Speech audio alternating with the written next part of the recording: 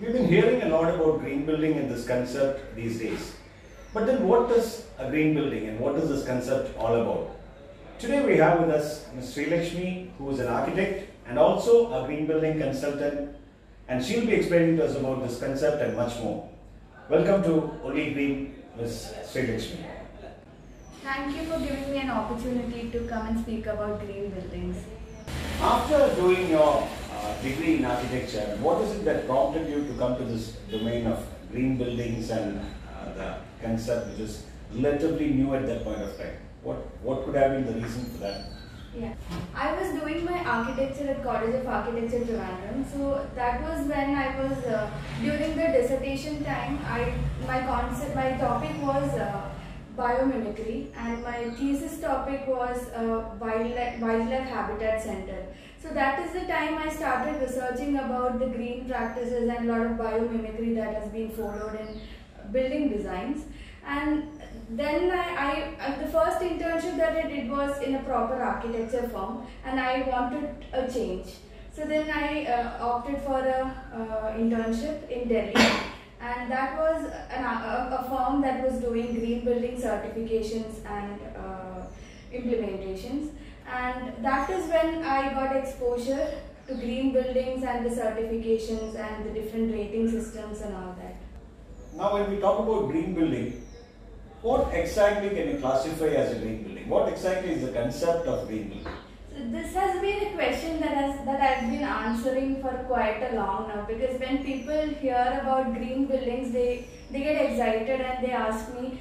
Uh, the major building that they refer, the main building that they refer to is the uh, VGOTS building because they can see a Lot of lot plants yeah. coming out of the building. Okay. So I can tell you that VGOT building is a green building, but it is not because of the plants that are coming out of it, because of the uh, performance of the building, be it uh, energy wise or water consumption wise. Anyway, it is a green building, but not because of the plants. Plants. So uh, people mistake green buildings for uh, the Okay. the, The greenery, the greenery greenery, associated. yeah. So uh, that is where um, I should tell that uh, green buildings are those buildings that are planned in a sustainable way, which has a lot of energy savings, water savings, and they have a very good indoor air quality, and it also take care of the health and hygiene of the people, and it also it uses uh, vernacular materials and recycled and reused material, like, materials. So this is what I call uh, green buildings uh, or sustainable buildings. But then, um, if you can take the Panchabhutas, Okay. you can see the earth. So it will represent the, the sustainable site practices. Then there is fire, which we can relate with energy. There is jal, which can be water conservation. And there is sky. Uh, so we have a lot of credits in green buildings, which is like uh, ni- night outdoor uh, light pollution reduction. So a lot of things. So you can uh, associate uh, the Panchabhutas with green buildings. So green building is something that respects all the Panchabhutas, all the natural elements. So it's sort That's of it. being close to nature or being one with the nature. Definitely, yeah. Okay. Uh, now coming to the benefits of a green building, you mentioned about water conservation, you mentioned about energy saving, a lot of things like that. What exactly could be the total benefit when it comes to a green building concept? So benefits I can say there are both tangible and intangible benefits. Okay. So the tangible benefits will be uh, the energy savings and thus your energy bills and the water bills will be low. Then uh, you can use it for the marketing purposes, all that. And the intangible benefit will be the person living in that building will have a very good health condition. He'll be uh, like more productive and he, the, you can control your moods when you are in a Yeah. well lit space or when you are in a sustainable interior space yeah. Ventilation daylight all these things play a major role. And there are also not just for the people there are a lot of benefits that the green buildings give out to the planet to the profit so people planet and profit are the three p's of sustainability and these are called the triple bottom line People, planet, planet and, and profit. profit Okay. yes Uh, it, it applies to both uh, residential and commercial any Okay. building any building or any development i, I must say no, not just i don't I like i don't know whether we can confine it to buildings whether if, if it is a uh, neighborhood development or cities or villages anything a planned collective development yes also. exactly Okay, and, and you were talking about vernacular materials. Yes. I mean, uh, can you be more specific on that? In a condition like ours, which is a Kerala related situation, what could be that? So I can tell you one example that uh, we were doing a, uh steel residence in Okay. uh, and that was also going for an IGBC cert- Green Homes certification. Okay, So the material that we had used was uh, laterite blocks. okay, So that was locally available. So um, IGBC says that whichever material that is available around the um, site. like and, uh, Yeah, it, it's actually uh, it's actually 800 kilometers Okay. radius. So we can uh, you know get the material the material that we source from this radius is considered to be locally available material and vernacular material materials that are uh, local or that are uh, native to a place. So Could be anything. any material, building. yeah. Uh, when you talked about uh, people approaching you for green building, Yeah. you mentioned about a certification part. Yes. So, what are these uh, certifications that uh, recognizes a building as a green building? Uh, so uh, people would like to get a recognition for their building sometimes for uh, for marketing or for getting a getting clients coming to their uh, if it's a hotel to their hotel.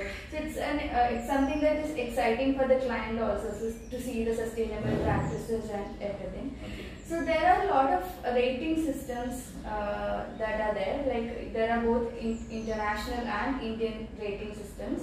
These rating systems certify the building on the basis of their uh, uh, sustainability performance.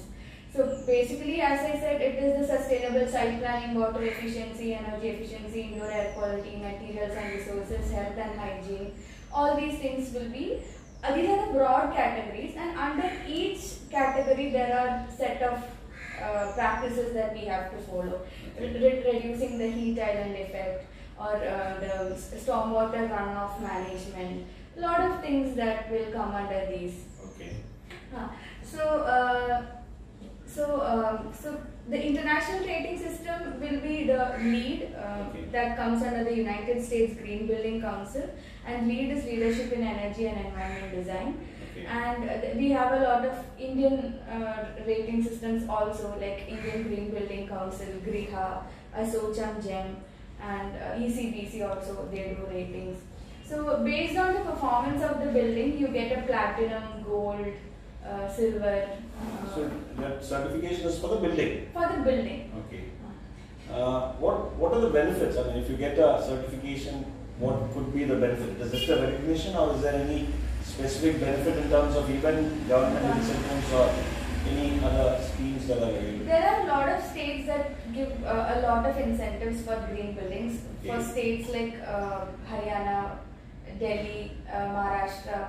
In these states, the government gives an extra uh, FAR, floor area ratio, than the require than the available at free of cost because these are green Is certified it buildings. applicable to our state also? Uh, right now, there is a government order that has come out wherein uh, they have mentioned about the uh, reduction in electricity bills, uh, reduction in the one-time tax and other taxes, and these incentives are now uh, coming to India by April.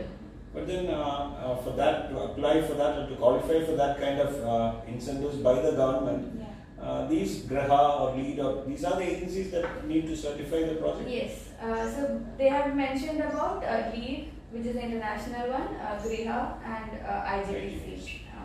Uh, uh, when a project needs to be qualified for a uh, green certification, Yeah. Do they get involved? The certification certification agencies get involved right from the beginning stages, or towards the end you document the whole building and present it, or are they involved right from the uh, time of design, planning, site uh, work work happening at site? Got it. So how it works is uh, the the project will be registered by the client uh, with the um, IGBC or the, uh, Okay, the the certification. certification body, Okay. and then it is the duty of the consultant to do the site visits and understand the gaps and understand what is happening. If it is an existing building, Okay. if it is a new building, the best time to involve a green consultant or a sustainability consultant is from the planning stage. Okay. So there is something called integrated design approach. That is when all the architect, I mean the architect, the uh, structural consultant, the client, MEP consultant, HVAC consultant, all of all of the consultants come together and have a discussion. So what usually happens is the client will go to the architect, architect will design, then it will come to the structural engineer, Okay. then it will come to MEP HVAC, like that it goes. So uh, green buildings, the best possible, the best uh, method is to have an integrated design approach. So then we can understand and optimize the conditions from the beginning itself and plan accordingly. In that case, uh, the cost will also get reduced in a huge uh, way. When it comes to, I mean, uh, we started off by saying that you have done your green building consultant course. Yes. And does who exactly gives that consultancy certification? Uh, so these uh, green certification bodies like USGBC, IGBC, GRIHA and all that, I am a, I'm an accredited professional from uh, uh, GRIHA, Okay. uh, IGBC and uh, LEED and it's basically called um, IGBC accredited professional, IGBC AP, uh, Okay. LEED AP, uh, Oh, okay. then GRIHA certified professional, uh, GRIHA CP and ASOCHAM certified professional. You go through any, any certification process, any learning, any classes or exams or anything like It's that? It's an exam uh, where you, if you qualify, you get the accreditation. So since I've been working in a green um, Okay. consultancy Okay. firm, it was it was uh, like I got a lot of help from there, uh, like and understanding and Okay. working on green building concepts and all that. So it was a, a exam that we have to give, and if you qualify that, you become an accredited professional in that. Anything to do with uh, being environment friendly or nature friendly, one with the nature? There is a there is a general concept that I mean there is a general understanding that the cost might be slightly on the higher side. How do you compare a normal conventional building and a green building cost wise? Uh, so if I take like few examples, as I said, if it is an integrated design approach, uh, if the sustainability consultant is on board from the beginning, uh, when the HVAC design is being done, we actually do a lot of calculation and understand how much uh, like fresh air ventilation is required for each space uh, based on the ASHRAE. Uh, it's an American standard for heat and ventilation. Uh, so based on that, uh, we um, calculate and tell them this much amount is required. So everything is optimized. Whatever is required, we are providing, but nothing more than that. Uh, optimal optimal design. So uh, in that case, for example, another example I can take uh, water efficiency. Okay. We have seen the taps with aerators. So here what happens is the water mixes with air Okay. and it comes in bubbles. Yeah. So we feel that we are using a lot of water, but then actually it's not. We are not overusing water. Uh, but at the same time, the user gets that Satisfaction. also. Uh, so if a lot of companies have these features, water efficient taps and faucets and all that. So uh, it is sometimes the building will be half done. And then they will be approaching a green consultant. So when a green consultant comes, like your water taps are not energy like water efficient, please change them. So in that case, the cost will again go up. But if everything is planned from the beginning, from the early stage, then it will not be a lot more than a conventional. a lot more or Or what would be uh, percentage wise? Maybe they uh, like I can tell maybe two one percentage, two percentage. That's all. That's all. And in the long run, uh, will it turn out to be uh, cost? To, I mean, uh, the running cost will be much lower, as what? Yes, the Yes. yeah, the operational co- Cost, opex yeah. will be uh, really uh, Low. low in the long Being an architect and a consultant, green building consultant, will be a much more easier job for you, right? Yes, uh, so what happens is uh, the cost, uh, when I come to the cost part, there are a lot of things that we can plan as passive design measures, like the orientation, the window Okay. sizing, the overhangs. All these things we can model and we can figure out like how to make it energy efficient or like sustainable. So in that case, uh, if you are providing all the passive measures, then the this expenditure that will come on the active measures will be low. Okay. So if, if the place is well lit, then the then the user will not have to switch on the artificial lighting every time. So it's already lit, and if it's, it's it has a good ventilation and everything, then he doesn't have to switch on the AC or fan. So it's basically the initial planning. That is the Is- first Is the Indian Indian old uh, concept of Vastu also incorporated into this? Uh, Vastu, uh, for my understanding of Vastu, is basically the orientation and. because uh, you mentioned about orientation, Yes. uh, correctly orienting the building. So, I mean, does that also help in terms of uh, making the building more efficient? Uh, this is my personal opinion Okay. because I don't uh, I don't believe a lot in the like if you if you uh, have this place here you will something Okay. bad will No, happen to your life. Not, not, I'm talking only about the building efficiency. Building efficiency. In Yeah. that case, uh, yes, it, it is incorporated in a lot of way because the sun path, the wind, uh, Okay. a lot of things are uh, taken care of in the uh, green building planning. Where do we stand today in Kerala in terms of understanding this concept and new green buildings coming up? So I should talk about a pre-COVID and Okay. post-COVID, I must say. Uh, so people started understanding the importance of being in a healthy uh, indoor because it's it's 90 percentage of the time that a person is spending indoors.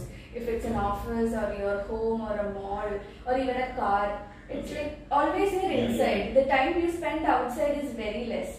So in that case, uh, living in a uh, healthy environment is very important. So maybe because of the COVID, people have got a lot of realizations. So we've also got a lot of enquiries after, Okay. during the COVID and after the COVID. So I think um, The right is now- picking up. Yes, and now because of the incentives from the government side, Okay. it's uh, a good option for the developers also Okay. uh, to get uh, monetary benefits and to attract their uh, customers. You mentioned a little bit about the misconceptions when a client comes to you. I mean, Yes. what could be in your general uh, disagreements or oppositions that you faced? So the misconception is basically um, when we do the concept, look, people have a wrong idea about green buildings. Like they think it's the plants or even maybe Okay. the green paint Okay. uh, that is called a green building. But then um, right now it's slowly changing because a lot of uh, classes, online classes and all are coming up on sustainable and green buildings. Okay. And another major uh, uh, misconception is that uh, the cost will be too high. Of course, the uh, the certification and all will be like you have to pay. Yeah. But then when you think about the benefits that you are doing to the environment, or if your uh, operational expenditure, like after a long run, it's it's not a big Okay. What do you see uh, the future for this uh, green building concept? Uh, I'm seeing a big future in this uh, field actually because uh, now the lack of awareness is a major issue. Okay. So through online platforms like Only Green, so if we can reach out to a lot of people and tell them the importance of living in a healthy space or a green space, because back to back, uh, a lot of uh, even the flood or COVID, a lot of Okay. uh, changes are happening in the world now. And the fast growing concrete jungles are the major killers as well. Because the concrete traps the heat and it release at night. So it's increasing the global temperature. So uh, if you have a green building we can do something not completely. So we have conventional buildings sustainable buildings uh, restorative buildings and regenerative buildings. So now the destruction has been so big or so huge that uh, conventional will be anyway doing a lot of bad to the environment. Green is also not enough. Restorative is also not enough. We need regenerative Okay. principles to, you know, uh, like.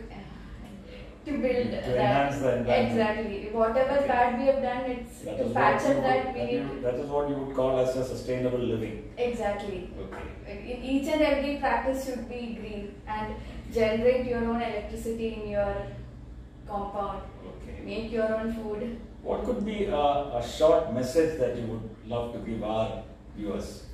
Uh, my con- my message would be, uh, you know, what are small things. Even the, I, I forgot, I, I missed out this major part. It's waste management.